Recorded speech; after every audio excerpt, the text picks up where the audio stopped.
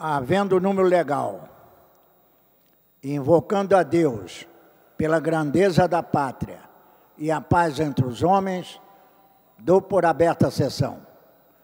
Convido o nobre vereador, doutor Edson da Creatinina, para proceder à leitura da ata da sessão anterior. Ata da centésima quarta sessão ordinária em 29 de novembro de 2011. Presidência dos senhores vereadores. Patrícia Amorim, segundo secretária, Paulo Messina, segundo suplente, e Ivani de Melo, a convite. Às 14 horas, com a presença dos senhores vereadores Luiz Carlos Ramos, Paulo Messina, Márcia Teixeira, Tio Carlos, Ivani de Melo, Dr. Carlos Eduardo, Renato Moura, Dr. Edson da Creatinina, S. Ferraz, Patrícia Amorim, Tereza Berger, Argemiro Pimentel, Raymond, Tânia Bastos, Eliomar Coelho, Paulo Pinheiro, André Gouveia Vieira, Rubens Andrade e doutor Eduardo Moura, 19, assume a presidência o senhor vereador Ivanir de Mello e ocupa o lugar de secretário o senhor vereador doutor Edson da Creatinina, ambos a convite. Encerra essa sessão às 16 horas e 7 minutos. Aprovada a ata, passa-se ao grande expediente. Primeiro orador inscrito é o nobre vereador, doutor Edson da Creatinina, que dispõe de 10 minutos. Senhor presidente Ivani de Mello, senhoras vereadores, senhores vereadores, assessores, público nas galerias e nos, nos gabinetes, telespectadores da TV, TV Câmara, imprensa, demais presentes. Todos já devem saber nessa casa, e também aqueles que são ouvintes costumazes da TV Câmara e que nos assistem nesse plenário, que me elegi com o nome político de Dr. Edson da creatinina. A divulgação da importância do exame da creatinina no sangue é minha principal bandeira e razão de ter escolhido usar como nome político o nome dessa substância utilizada para avaliar a saúde dos rins. Quanto mais alta a creatinina no sangue, pior está o funcionamento dos rins. Como nefrologista e professor, continuo convivendo com a dura realidade dos pacientes que necessitam de diálise e transplante pela doença crônica dos rins, também chamada em medicina de DRC. Entendi que o diagnóstico através do exame de sangue, que é muito simples e muito barato, pode evitar que milhares de pessoas adoeçam desse mal. Conseguir a realização rotineira do exame nos hospitais públicos, uma forma rápida de diagnosticar e que custa alguns centavos para sinalizar as doenças renais e ainda apontar outras doenças, e também multiplicar o simples conhecimento de que a dosagem da creatinina é barata e tão importante quanto a da glicose e do colesterol, serão sempre grandes vitórias. Estimativas de 2011 revelam que cerca de 12 milhões de brasileiros são portadores de doença renal crônica, e a maioria não sabe disso. As três principais causas de doença renal crônica apontadas pela Sociedade Brasileira de Nefrologia são, primeiro, a hipertensão, em segundo, o diabetes, e a terceira é a glomerulonefrite, que são doenças, a glomerulonefrite é uma doença desconhecida na maioria das pessoas, mas que é manifestada por urina espumosa e sangue na urina, muitas vezes microscópico. O rápido crescimento dessa doença no Brasil e no mundo acarreta a necessidade cada vez maior de campanhas preventivas. Toda quinta-feira de março comemora-se o Dia Mundial do Rim. Todos os anos são realizados inúmeros eventos dessa, nessa data no Brasil e fora do Brasil. A Sociedade Brasileira de Nefrologia disponibiliza, disponibiliza material da campanha chamada Previna-se, para distribuição em clínicas e unidades renais e é dela que falo hoje, como uma boa notícia para divulgar aqui. Soube ontem à noite que a campanha Previna-se da Sociedade Brasileira de Nefrologia, de autoria dos médicos Giana Mastroianni Kirtian, Marcos Bastos e Emanuel Almeida Burdman, foi a vencedora, o trabalho foi vencedor da categoria Saúde e Prevenção, do Prêmio Saúde da Editora Abril. A campanha, representada pelo trabalho Strategies of the Brazilian Chronic Disease Prevention Campaign 2003-2009, que a tradução é Estratégias para a prevenção da doença renal crônica foi publicada numa revista importante chamada Nephron Clinical Practice de 2011. Esse prêmio é promovido pela revista Saúde, é vital e é aberto exclusivamente a proporcionar a profissionais de saúde com o objetivo de valorizar, incentivar e divulgar campanhas de prevenção e educação trabalhos clínicos ou da área cirúrgica e outras ações que tenham contribuído para melhorar a saúde e a qualidade de vida dos brasileiros têm caráter exclusivamente cultural, sem nenhuma modalidade de sorteio ou pagamento pelos concorrentes. De acordo com o levantamento de 2008 da Sociedade Brasileira de Nefrologia, o número de pessoas em tratamento de diálise chegava a 87 mil e hoje eu posso afirmar que chega a 93 mil pessoas seguindo a tendência do resto do mundo, vem progredindo e sem sinais e sintomas durante um longo período, essa doença só é detectada quando já avançou o suficiente para comprometer irreversivelmente o funcionamento dos rins. Uma das armas para combater esse mal é, portanto, a informação, estratégia da, da, na qual se baseia a campanha Previna-se, idealizada por especialistas da Universidade Federal de São Paulo, Universidade Federal de Juiz de Fora, Universidade de São Paulo e Sociedade Brasileira de Nefrologia. Nós participamos todos os anos dessa campanha, fizemos aqui na porta da Câmara no começo do ano, fizemos aqui dentro da Câmara, mas essa campanha tem que ser constante.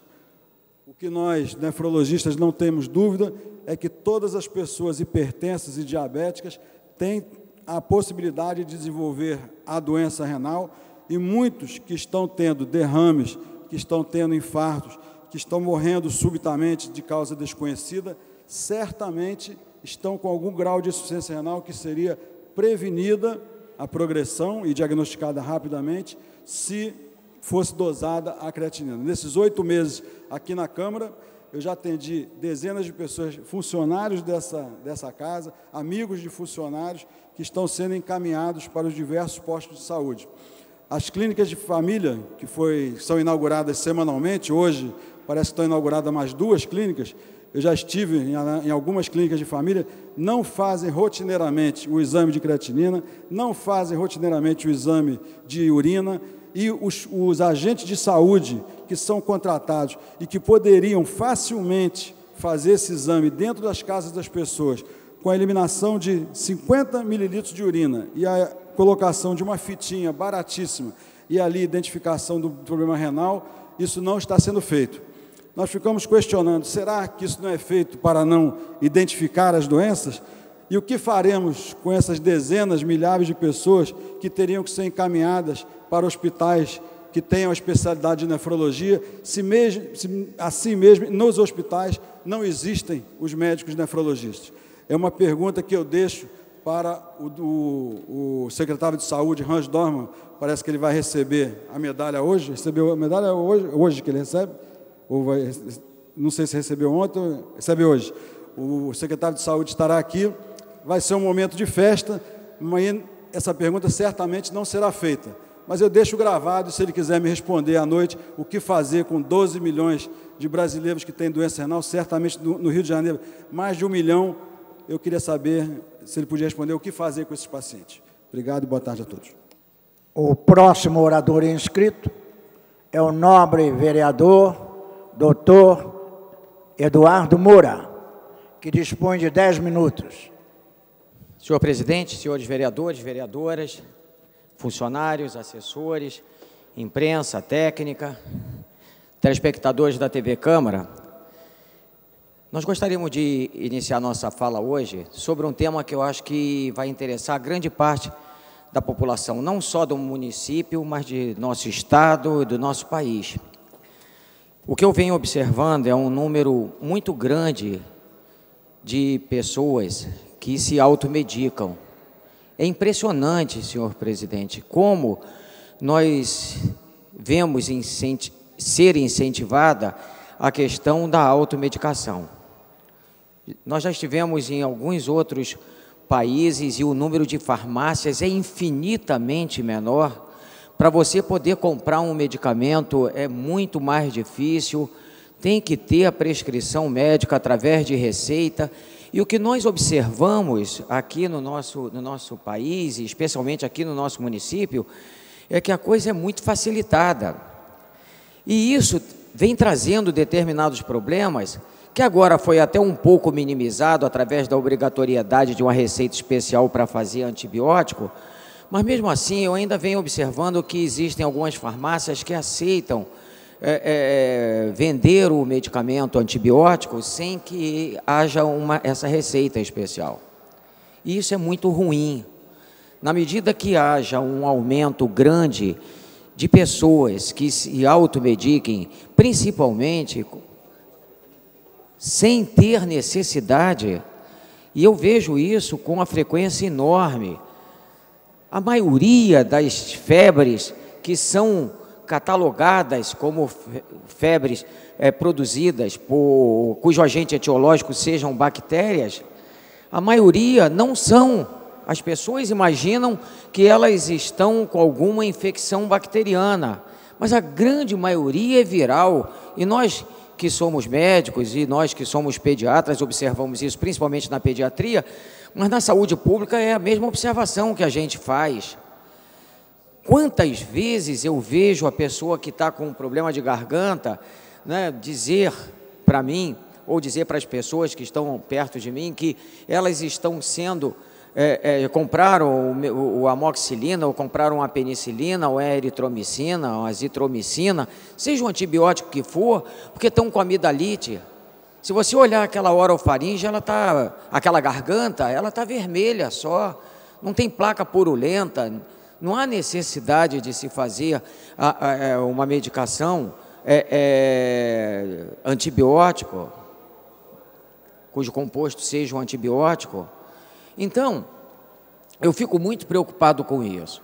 E isso chamou mais a minha atenção porque eu acho que nós devemos tomar alguma providência em relação a isso. E certamente eu, eu hoje já, já tenho uma reunião marcada com as pessoas que trabalham comigo no gabinete, com meus assessores, para ver qual a forma que a gente tem de minimizar esse tipo de situação. Como eu ia dizendo, eu tive, eu, eu observei isso e chamou a minha atenção mais firmemente que ontem eu atendi no meu consultório uma criança de mais ou menos nove meses que tudo levava a crer que o problema era de, de, de ordem bacteriana. Tudo levava a crer. A criança estava extremamente irritada, a criança estava com a fontanela abaulada, o que preocupa e que nos faz pensar até em meningite. Mas só que um exame mais apurado, pesquisei o sinal de Brudzinski, aquele que vê se como é que está, se há rigidez de, de, de, de nuca, pesquisei o sinal de Kern, pesquisei o sinal de Laseg, todos os sinais que tem que ser pesquisado nos casos onde a gente suspeita de meningite, e nenhum deles apontava para meningite.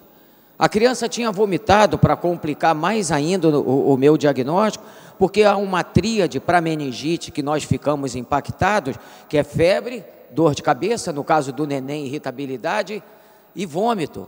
O vômito que a criança tinha tido não era um vômito em jato, era um vômito que não era característico para um caso de um edema cerebral, um caso onde houvesse uma irritação meníngea. Então, o que eu tive que fazer? Buscar melhor o diagnóstico. E buscando melhor o diagnóstico na anamnese, no exame físico mais apurado, eu detectei que o quadro muito provavelmente era viral, o que foi comprovado pelo, pelo hemograma que eu solicitei. Há uma diferença, e o hemograma nos ajuda muito nesses casos, porque há uma diferença quando você faz um hemograma e ele vem com características de infecção bacteriana ou com característica de uma infecção viral. Quer dizer, fiz tão somente a, a, o antitérmico, fiz um antiemético, orientei, mandei oferecer bastante água, fiquei observando aquela criança, não havia uma baixa de plaquetas, o que me tranquilizou também em relação a, a pensar em, em, dengue, e tudo que, que, eu, que, pelo exame que eu fiz e pelo, pelo hemograma que eu analisei, eu tive certeza que aquilo ali era um quadro, um quadro viral. e em sendo viral não precisa antibiótico. Certamente, senhor presidente, certamente, vereadores e os que estão nos assistindo, ouvindo nos seus gabinetes, os senhores que estão nos assistindo através da TV Câmara, se porventura eles fossem pessoas mais assodadas, com certeza já entrariam com o medicamento antibiótico. Criança com febre, irritada, etc. Como eu disse aqui nos sintomas que caracterizavam no caso dessa criança. E isso é todo dia sim, todo dia.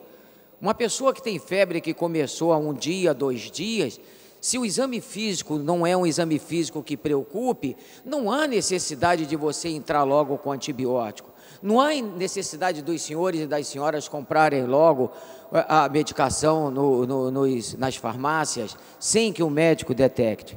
E é importante também que nós médicos, os colegas que estão nos assistindo nesse momento, também fiquem muito atentos a esse tipo de situação e situação, situações semelhantes a essa, porque nós minimizaremos determinadas situações que a gente vê no, no dia a dia.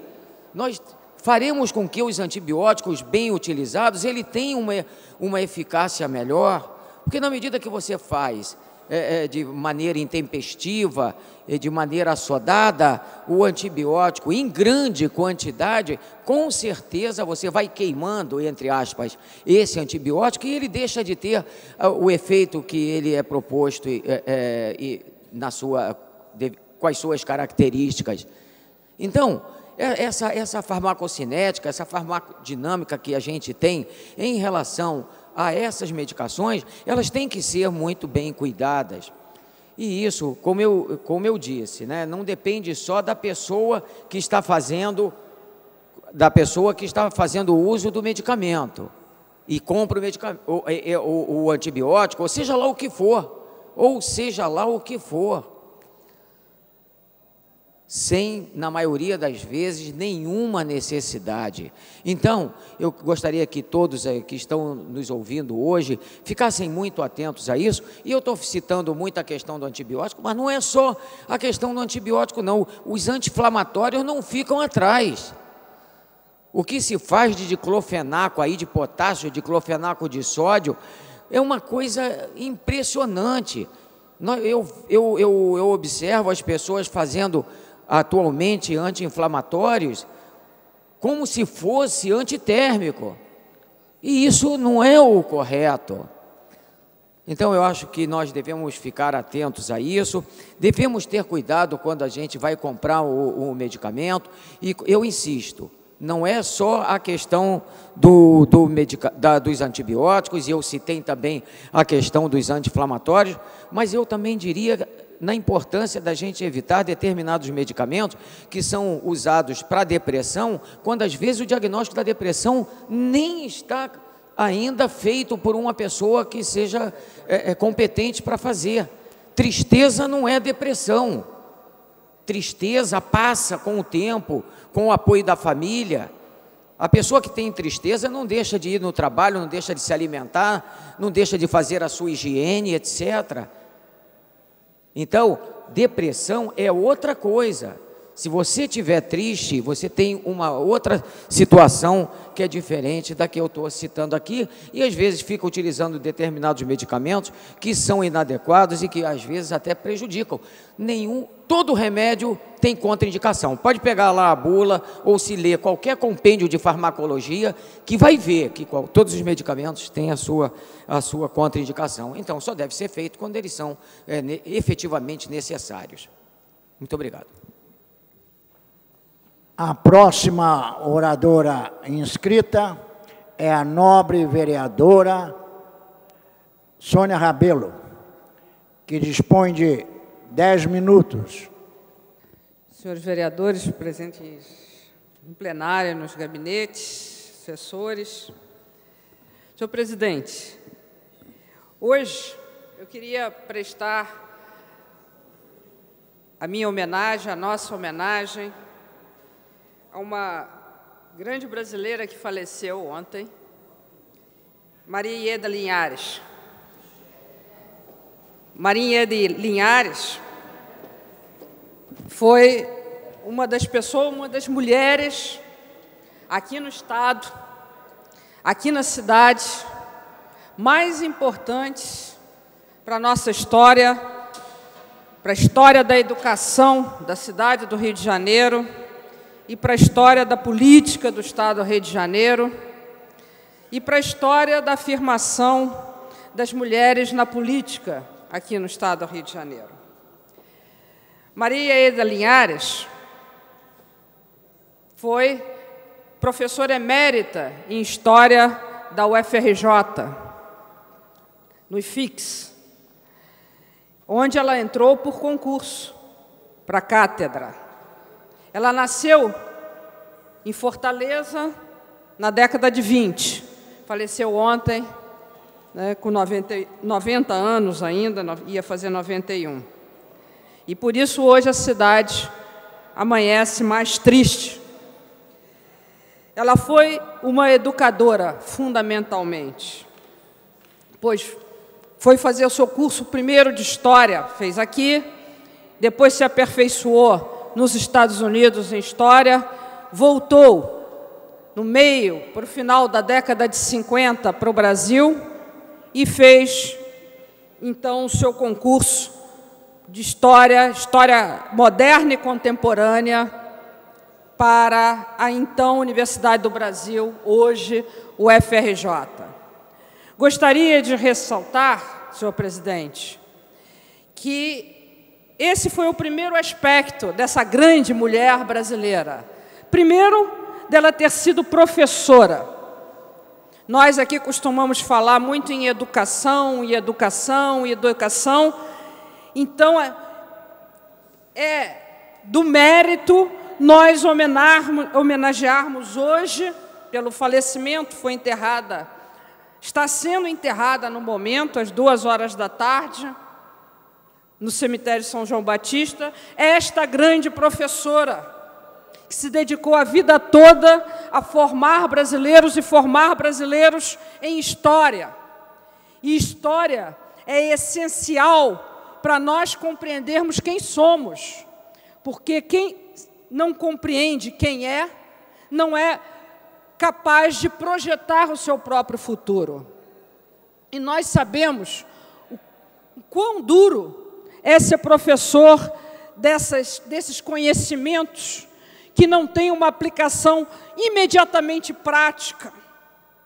Né? Ensinar história, ensinar línguas, né? ensinar essas profissões, esses conhecimentos que não são, por exemplo, e eu digo porque eu sou professora de direito, né? E quando as pessoas fazem direito, apesar do conhecimento do direito ser essencial e importante, as pessoas vão fazer direito para conhecer direito, mas, sobretudo, para exercer direito, essa profissão que hoje tem um grande prestígio e se ganha muito dinheiro mas em história não. É preciso ter uma grande dedicação e amor para ensinar história, que é tão essencial para a formação da consciência de cada um dos seus brasileiros. E Maria Eda Linhares foi essa professora emérita de história no IFIX, que é uma grande história, um grande instituto de ciências sociais. Mas não parou aí. Durante o golpe militar, Maria Eda foi perseguida, foi presa, foi exilada, combateu, teve que sair do país, respondeu a vários inquéritos é, militares, sofreu muito e voltou para esse país.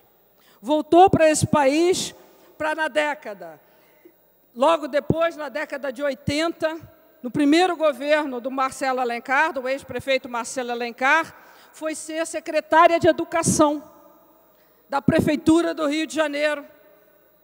E depois, no primeiro e segundo governo do governador Brizola, foi a secretária de Educação. Foi com Maria Eda Linhares, na Secretaria Estadual de Educação, junto com então vice-governador Daci Ribeiro, que foram construídas neste estado mais de 750 CIEPs, que foi o grande avanço para a implantação do ensino, ou pelo menos na tentativa de implantação do ensino integral aqui no estado do Rio de Janeiro e no município do Rio de Janeiro. Essa história ficou parada. Aqui, na Câmara dos Vereadores, recentemente aprovou novamente uma tentativa de ensino no período integral a ser implantada ao longo dos 10 anos próximos. Mas como implantar o ensino integral sem escolas preparadas para o ensino integral, com espaços preparados para o ensino integral?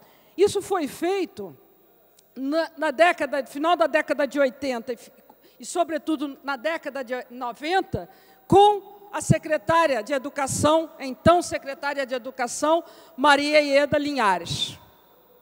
Então, ela colaborou expressivamente para isso que hoje nós aqui ainda tentamos muito incipientemente implantar, que é o ensino integral e a dedicação à educação de ensino fundamental e de ensino médio. Portanto, senhor presidente, a nossa homenagem aqui a essa grande mulher que foi Maria Ieda Linhares, ou melhor, que é Maria Ieda Linhares, porque ela, com ela fica aqui a marca do exemplo, do exemplo de educação, de exemplo de dedicação a uma ideologia. Maria Ieda Linhares teve na sua vida inteira uma conduta que ela pautou por uma ideologia, por uma construção de um país melhor. E foi fiel a essa ideologia. E talvez nos dias atuais o que nos falte para balizar os nossos caminhos, primeiro, é uma ideologia. E segundo, é sermos fiéis a essa ideologia, a esse caminho. Que Maria Ieda Linhares nos sirva de exemplo e que nos dê força para seguir esse caminho. Estou fazendo uma indicação legislativa, senhor presidente, para que se dê para sugerir à prefeitura que se dê o um nome a uma escola a essa emérita brasileira que foi Marinha de Linhares e pedindo um minuto de silêncio em sua homenagem. Muito obrigada.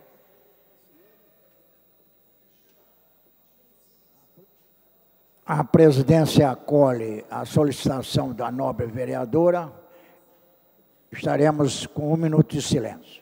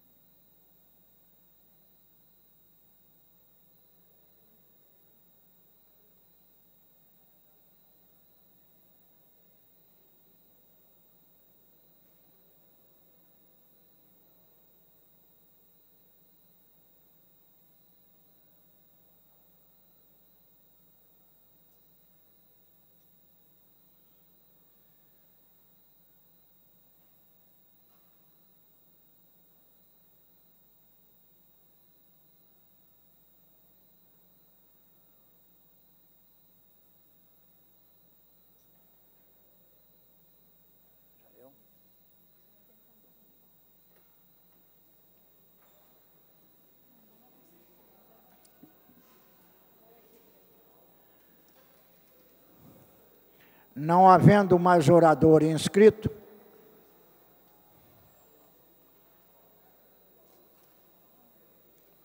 retificando, com a palavra franqueada, o nobre vereador, doutor Eduardo Moura, que dispõe de 10 minutos. Senhor presidente, senhores vereadores, vereadoras, assessores, funcionários da casa, técnica, imprensa, telespectadores da TV Câmara, eu gostaria de usar mais uma vez essa tribuna para dizer da, da minha alegria com a possibilidade que nós teremos de realizar melhorias na, no local onde nós temos a Picota da Pavuna. A fazenda a fazenda de Nossa Senhora da Conceição no subúrbio do Rio de Janeiro. Eu acho que isso vai servir, senhor presidente, para resgatar algo que é tão importante na nossa história, inclusive ligado à consciência negra também. E eu tive um contato esta manhã com o nosso, com o nosso secretário de conservação e ele interessou, ele interessou-se profundamente pela possibilidade de nós fazermos melhorias ali no entorno de onde está o tronco, onde havia, onde havia não, onde há a, a picota e os funcionários eles eram eles eram supliciados. Os pelourinhos ficavam na área central das vilas e cidades exatamente para que o castigo fosse visto por todos. O principal pelourinho do Rio de Janeiro ficou instalado a maior parte do tempo onde é onde hoje é a Praça 15 de Novembro, em frente ao Paço Imperial. Sede do poder durante muito tempo, embora com outros nomes. Palácio dos Governadores, Palácio dos Vice-Reis. Como não dava para instalar pelourinhos em todos os lugares, era permitida a existência de troncos do tipo picotas em fazendas e áreas afastadas do centro do poder, principalmente nas freguesias rurais. A picota da fazenda Nossa Senhora da Conceição foi a única encontrada por arqueólogos até hoje na cidade do Rio de Janeiro. Construída no século XVIII, a fazenda foi grande produtora de cana-de-açúcar e mais tarde de café, além de diversos outros gêneros. No século XIX, pertenceu a um comendador amigo de Dom Pedro II, e que hospedava a família real, perdão, a família imperial em suas passagens pela região. O núcleo urbano do atual bairro da Pavuna foi formado a partir do desmembramento das terras da fazenda nas décadas de 40 e 50 do século XX. A região abrigou grande quantidade de engenhos e fazendas durante muito tempo. A picota foi descoberta em 1999 junto com pedaços de cerâmica e outros apetrechos da época da fazenda, por arqueólogos da subprefeitura da região e do patrimônio cultural do município. E provavelmente ficava numa entrada da fazenda destinada aos escravos, para que a ameaça de punição estivesse sempre presente à vista de todos. Em julho de 2002, a área onde ela foi encontrada, nas esquinas da rua Sargento Wilson Ramos, com Herculano Pinheiro, foi transformada no sítio arqueológico Nossa Senhora da, Conceição, e a ideia é transformar o local em um sítio-museu aberto à visitação pública, que é justa, justamente a solicitação que eu estou fazendo ao nosso, ao nosso secretário de conservação. Fica a pergunta: para que destruir um prédio que ainda estava em bom estado de conservação e hoje poderia abrigar, por exemplo, uma repartição pública mantendo o patrimônio histórico? Mas pensando bem, se a Casa de Machado de Assis, o Palácio Monre, a Escola de Belas Artes, onde hoje é um estacionamento na esquina com a Avenida Passo, no centro do Rio, e tantos outros monumentos foram destruídos e continuam a ser, não dá para se espantar. Pelo menos a fazenda do Capão do Bispo, outro patrimônio importante ainda existe no bairro de Del Castilho, mas está merecendo uma reforma que eu também estou solicitando e uma atenção das autoridades há muito tempo. Eu queria, eu queria insistir na, nessa questão da, da, da picota da Pavuna, do sítio arqueológico, porque isso tem uma importância histórica e cultural ele está tombado pelo Instituto Patrimônio, Patrimônio Histórico. Então é importantíssimo que as autoridades tenham esse olhar, que agora nós vemos até que o nosso secretário está tendo esse, esse olhar amorável sobre aquele local, porque isso serve até para resgatar o bairro da Pavuna, que precisa dos cuidados das, das nossas autoridades e que vem sendo já protegido através de algumas obras, mas não ligadas à questão da cultura. E agora nós temos essa oportunidade e eu gostaria de, de convidar aqueles que, porventura, é, tenham interesse eu tenho lá as fotos da, da Picota da Pavuna, o bairro que eu amo profundamente, no entorno ali do local onde eu trabalho, muito próximo a Coelho Neto, e eu sempre vou ficar trabalhando para aquilo ali melhore todos os dias. Quem tiver interesse, nós estaremos à disposição lá no gabinete 902 e também no meu site www.eduardomoura.com.br, onde nós daremos a, a, o site que vocês podem consultar a respeito, a respeito dessa picota. Então, quem tiver interesse, pode nos procurar, que nós estaremos à disposição para, para mostrar o, o quanto isso aí tem uma, uma importância histórica. Hoje, como e passando, retornando à questão de, de, de algo ligado à saúde, hoje eu, eu na, na, primeira oportunidade que eu tive de ocupar essa tribuna, eu falei justamente sobre o, a, a, grande quantidade de medicamentos, antibióticos, etc., que são utilizados pelas pessoas. Né? E hoje eu tenho aqui uma, uma, uma reportagem no jornal Extra, de quinta-feira, 24 de novembro de 2011, que fala sobre estudo alerta para risco de alta doses de paracetamol. O uso excessivo do analgésico provoca reações no fígado. Consumir uma dose um pouco acima da recomendada do analgésico paracetamol por um longo período de tempo, mesmo que apenas por uma questão de dias, pode causar graves danos à saúde, de acordo com a pesquisa da Universidade de Edimburgo. Os principais riscos envolvem problemas no fígado e no cérebro. Em alguns casos, o excesso pode levar à morte. Para o estudo, os cientistas analisaram 161 casos do que chamaram de overdose escalonada durante um período de seis anos. Ao fim do levantamento, os cientistas descobriram que muitas pessoas que usam os comprimidos contra a dor não percebem quando tomam mais do que o permitido. Exames de sangue também não são capazes de apontar níveis excessivos da substância. Mais complicações. Ao todo foram observados registro médico de 663 pacientes que foram encaminhados para a Universidade Escocesa de Transplante de Fígado, no Hospital da Universidade de Edimburgo, devido a problemas induzidos supostamente pelo paracetamol. Eu queria, antes de terminar, é, senhor presidente, dizer o seguinte: primeiro, Atenção os que estão nos ouvindo. Primeiro, 161 casos, mesmo sendo na farmácia, na, na Universidade de Edimburgo, é muito pouco para que nós possamos dizer que esse estudo é um estudo sério. Primeiro. Segundo, o que, que o, a reportagem diz em relação ao fato das pessoas utilizarem durante um período longo? Isso é muito relativo. E, segundo, e terceiro, eu gostaria de dizer que altas doses é mais do que mais do que 400 miligramas de 4 em 4 horas, ou seja, seis comprimidos do, de 500 de 4 em 4 horas. Isso dá mais ou menos, é 400 miligramas, não é? Exatamente, 400 miligramas de 4 em 4 horas, que dá 2 gramas e 400, senhor presidente.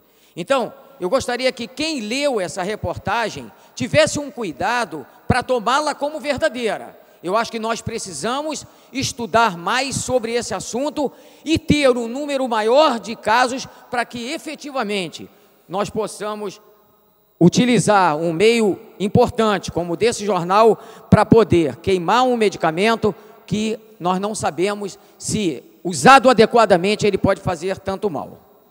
Não havendo mais orador inscrito, a presidência franqueia a palavra. Não havendo manifestação por parte dos senhores vereadores, a sessão fica suspensa até às 15 horas e 40 minutos. Está suspensa a sessão. Está reaberta a sessão. Terminada a primeira parte do grande expediente, passa-se a segunda parte. Não havendo orador inscrito, a palavra fica franqueada. Não havendo quem se manifeste, a sessão fica suspensa até às 16 horas. Está suspensa a sessão. Você ficou procurando alguém, né? Está reaberta a sessão. Terminado o tempo destinado ao grande expediente e não havendo matéria a ser examinada no prolongamento, passa-se a ordem do dia. Em tramitação especial em regime de urgência, em primeira discussão. Projeto de Lei número 1153/2011, de autoria do Poder Executivo, que declara como de especial interesse social para fins de urbanização e regularização urbanística e fundiária as 43 áreas de planejamento 43 áreas da área de planejamento 5, que menciona e estabelece os respectivos padrões especiais de urbanização.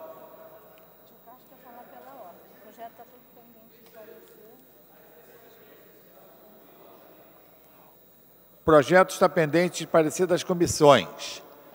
Para emitir o parecer pela Comissão de Justiça e Redação. Nobre vereador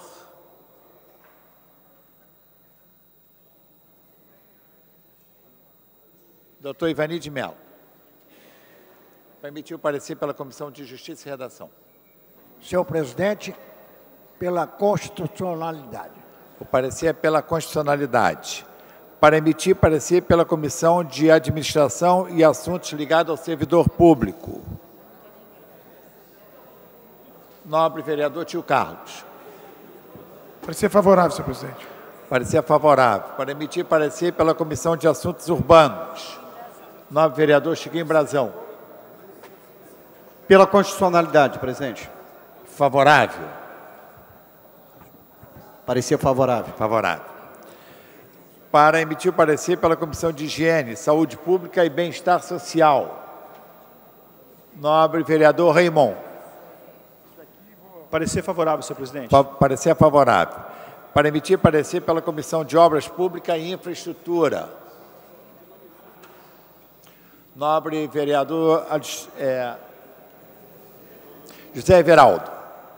Parecer favorável, senhor presidente. Parecer favorável. Em discussão a matéria.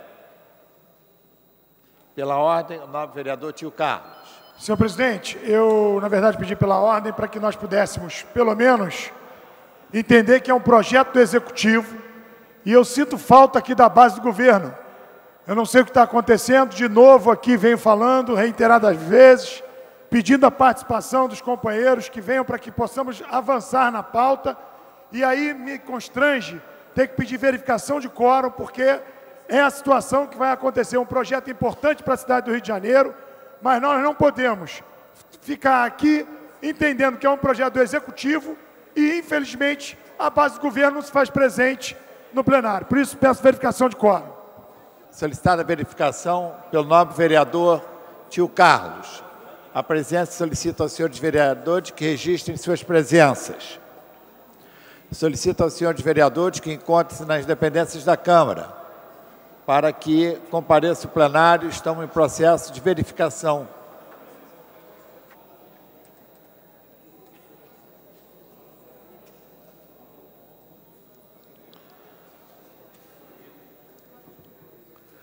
A presença solicita aos senhores vereadores para que venham ao plenário os que se encontram nas dependências da Câmara Municipal. Estamos em processo de verificação.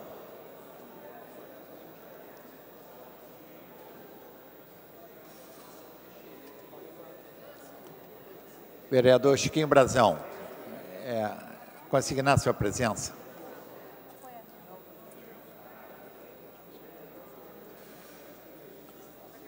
A presença insiste em solicitar aos senhores vereadores para que compareçam ao plenário. Estão no processo de verificação de presença.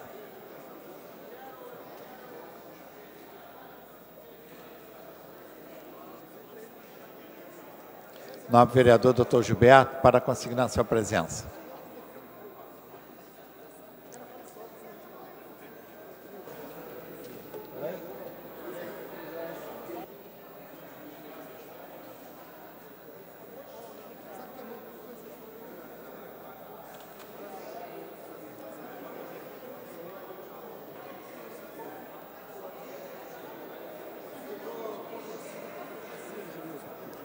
Encerrada a verificação. Presente, 19 senhores vereadores. Acordo para prosseguimento dos trabalhos. Em discussão a matéria.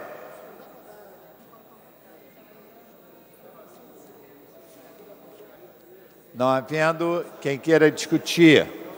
Encerrada a discussão.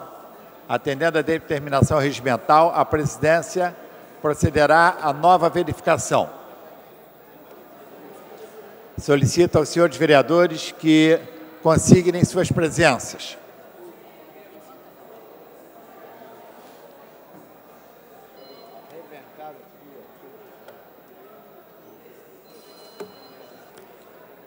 A presidência solicita aos senhores vereadores que encontrem-se na dependência, nas dependências da Câmara, para que venham ao plenário, encontramos em processo de verificação de presença.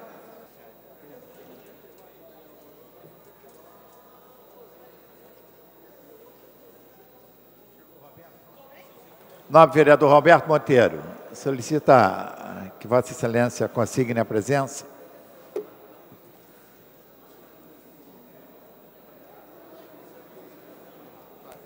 Vereador Carlos Caiado, consignar a presença de Vossa Excelência, por favor. Vereador Doutor Gilberto. Vereador Doutor Gilberto, consignar a presença, por favor.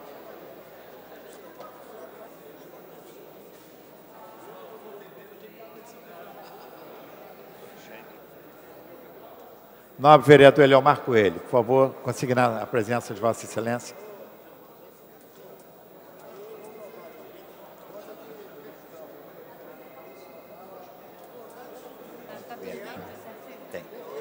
A presença vai encerrar a verificação. Presente. A presença tem a honra de registrar a presença do ex-vereador e ex-deputado estadual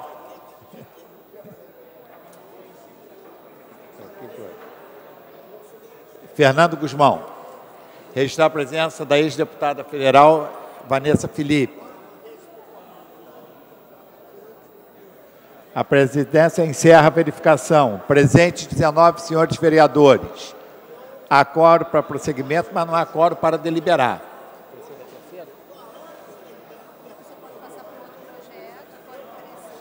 Passa-se a matéria seguinte em tramitação especial em regime de urgência em primeira discussão. Projeto Lei número 1154, de autoria do Poder Executivo, que declara como de especial interesse social para fins de urbanização e regularização urbanística e fundiária as 28 áreas das áreas de planejamento 3 e 4, AP3 e AP4, que menciona e estabelece os respectivos padrões especiais de urbanização. A matéria está pendente de parecer da Comissão de Justiça e Redação para emiti-lo. Novo vereador Tio Carlos. Senhor presidente, pela constitucionalidade. Parecer pela constitucionalidade. Para emitir o parecer pela Comissão de Administração e Assuntos ligados ao servidor público.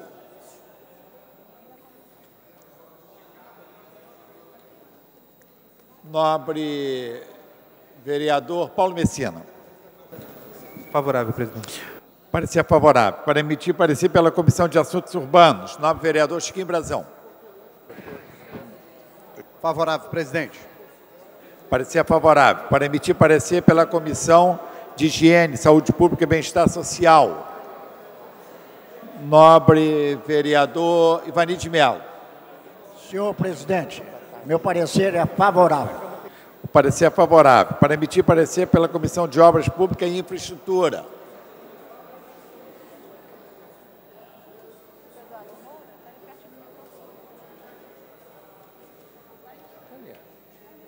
Nobre vereador, doutor Eduardo Moura.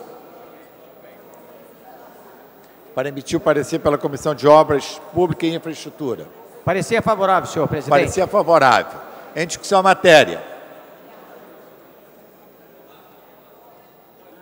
Não havendo quem queira discutir, encerrada a discussão em votação. A presidência submeterá a verificação de presença. Presença solicita aos senhores vereadores que registrem suas presenças. porquanto nas duas verificações anteriores tivemos quórum para prosseguimento do trabalho, mas não para deliberar. Estamos na terceira verificação. Necessária a presença de 26 senhores vereadores para prosseguimento dos trabalhos. A presença solicita aos senhores vereadores que encontram-se nas dependências da Câmara Municipal para que compareçam ao plenário. Lembro senhores vereadores que amanhã, às 10 horas da manhã, teremos uma audiência pública para a discussão das questões das varandas, envidraçamento de varandas, na cidade do Rio de Janeiro, atendendo a uma solicitação formulada pelas associações da, da Barra da Tijuca, do Recreio dos Bandeirantes, liderada pela Câmara Comunitária da Barra da Tijuca.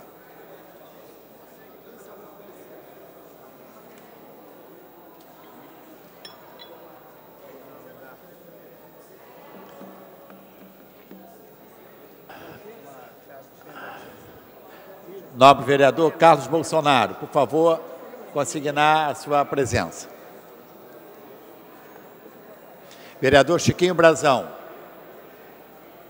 Registrar a presença.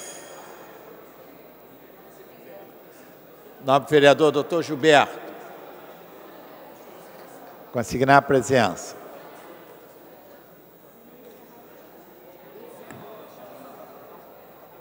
Pela ordem, senhor presidente. Com a palavra, senhor. Senhor presidente, eu queria só justificar a ausência do vereador Israel Atleta, a pedido dele, pois ele se encontra em Brasília numa reunião do partido. A presidência vai encerrar a verificação. Encerrada a verificação. Presente, 19 senhores vereadores, não quórum para prosseguimento dos trabalhos. A presidência, antes de encerrar a presente sessão, dá conhecimento que hoje, em atenção ao requerimento formulado pela nobre vereadora Andréa Gouveia Vieira, teremos solenidade no plenário Teotônio Vilela, a partir das 18 horas e 30 minutos, para a realização da entrega do conjunto medalha Pedro Ernesto ao doutor Hans Fernando Rocha Dorman. Convoca a sessão ordinária para amanhã às 14 horas. Está encerrada a sessão.